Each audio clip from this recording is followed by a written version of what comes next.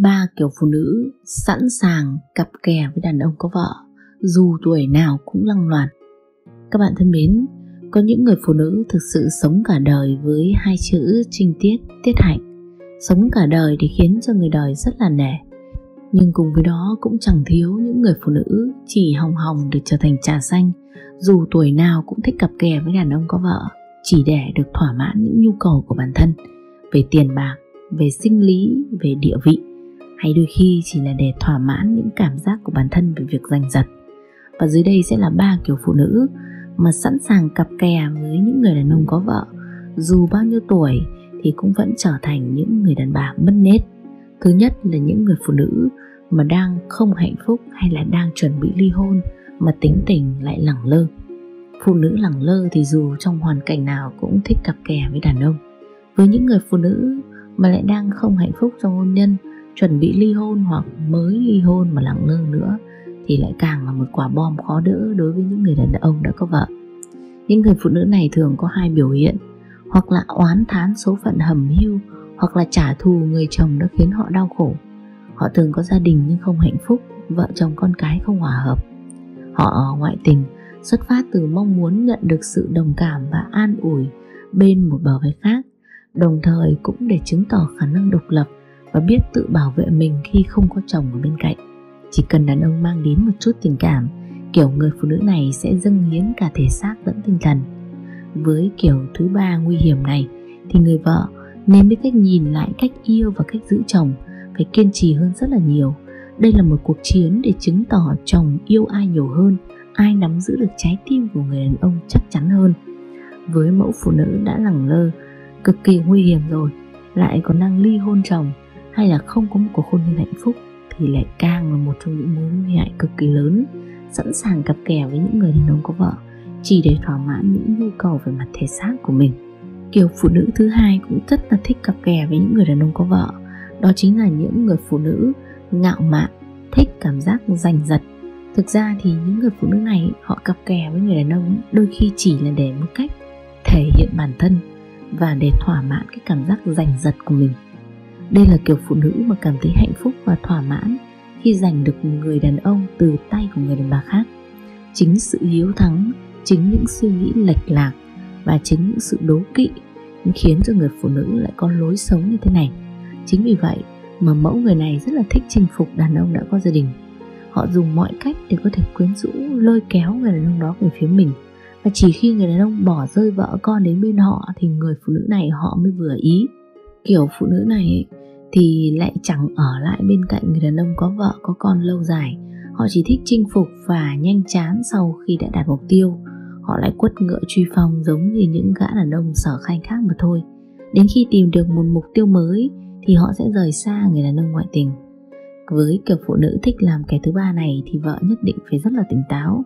Đừng bao giờ cho cô ta cảm giác thỏa mãn khi mà bạn vốn đã không cần một người chồng phản bội một người phụ nữ thích giành giật, đôi khi cặp kè với đàn ông chỉ để thỏa mãn cảm xúc và cho rằng mình là người phụ nữ đẹp hơn, thể hiện được sự tự tin nhiều hơn, ngạo mạn hơn mà thôi. Mẫu phụ nữ thứ ba sẵn sàng cặp kè, sẵn sàng qua đêm với những người đàn ông có vợ. Không gì khác chính là những người phụ nữ ham vật chất. Trên đời này không thiếu gì những người phụ nữ ham vật chất, và dường như với một xã hội mà mọi thứ đều được giải quyết bằng tiền như hiện nay thì mẫu phụ nữ này lại càng nhiều như nấm mọc sau mưa. Chỉ thích cuộc sống trong nhung lụa, muốn làm mà không có ăn ăn trắng mặc trơn, nhưng mà lại lười lao động. Họ nghĩ rằng mọi giá trị trong cuộc sống đều được đo bằng tiền.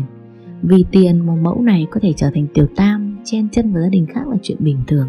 Thậm chí là cặp với cả những ông bố đường hơn mình đến 6-70 tuổi còn được. Kiểu nhân tình này thì lại thường rất là khôn khéo rất là biết cách chiều lòng đàn ông để kiếm lợi. Bởi vì họ sống bằng nghề này mà. Họ nói những lời ngọt ngào, hẹn ước đủ điều khiến cho những người đã có gia đình sẵn sàng mang tiền đến để mà cung phụng, để mà chiều chuộng. Thực ra thì kiểu đàn bà yêu tiền này có mục đích sống khá là rõ ràng. Chỉ cần tiền, họ sẽ ở bên cạnh người khác. Và họ đến vì tiền thì họ cũng sẽ ra đi được vì tiền. Để phòng tránh chồng bị mê hoặc bởi kiểu tiềm tam mà hám danh lợi như thế này thì phụ nữ tốt nhất nên là những người kiểm soát tiền bạc trong gia đình. Bởi vì khi không trục lợi được từ đàn ông, thì kiểu phụ nữ này cũng sẽ tự khắc rời đi để tìm một con mồi khác béo bở hơn mà thôi.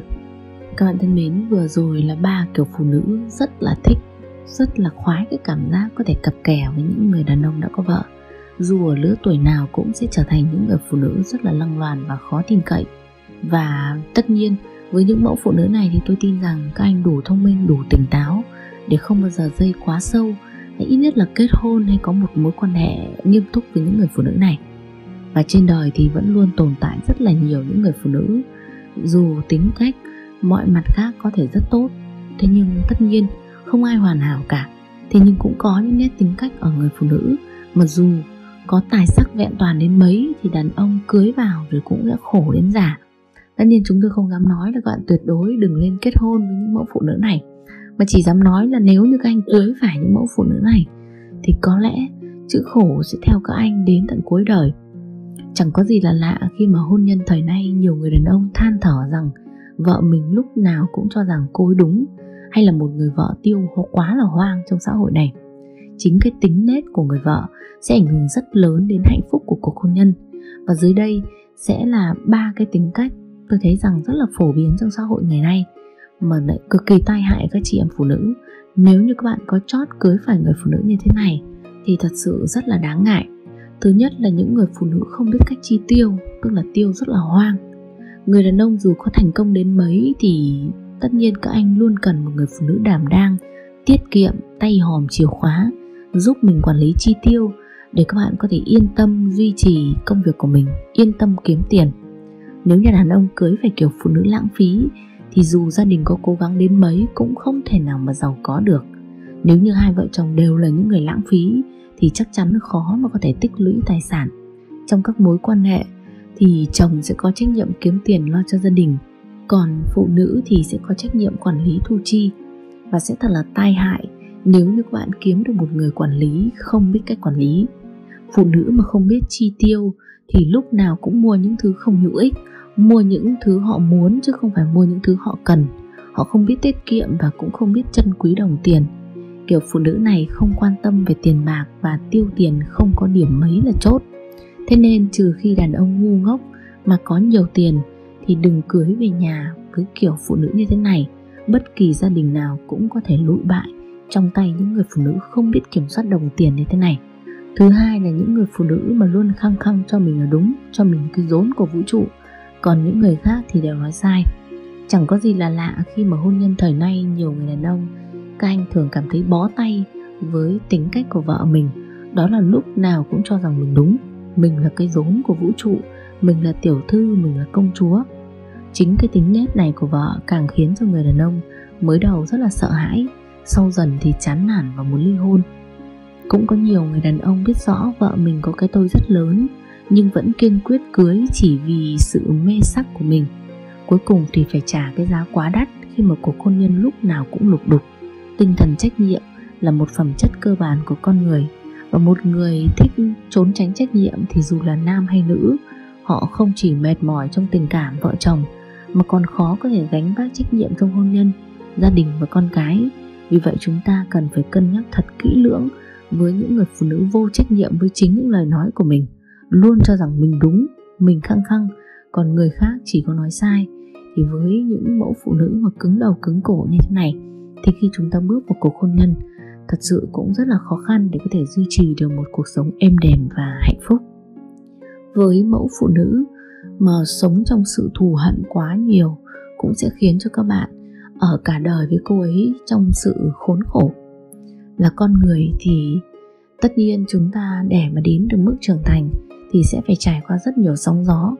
Và để trải qua được sóng gió thì ngoài sự biết ơn, nhiều người lại cứ thích ôm những mối hận thù.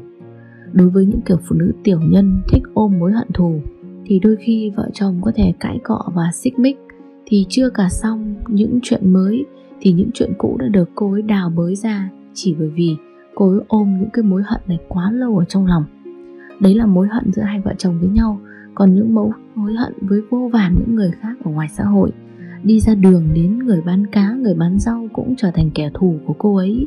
Hay là bất cứ một câu chuyện nào, một con người nào cũng có thể trở thành một chủ đề tiêu cực, với người phụ nữ cứ thích ôm những mối hận thù và có một cái góc nhìn rất là tiêu cực về cuộc sống như thế này. Thì khi mà đàn ông lựa chọn cưới những người phụ nữ, thì các bạn sẽ quyết định được cuộc sống của mình trong ba đời tiếp theo có hạnh phúc được hay không đó là bố mẹ các bạn, đời bản thân chính các bạn và đời con cái của các bạn nữa.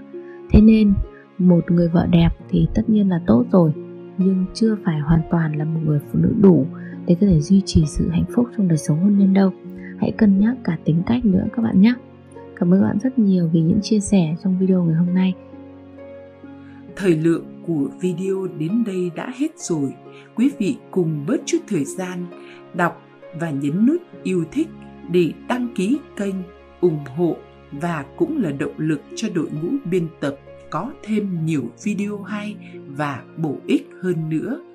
Còn bây giờ, xin chào và hẹn gặp lại trong những video tiếp theo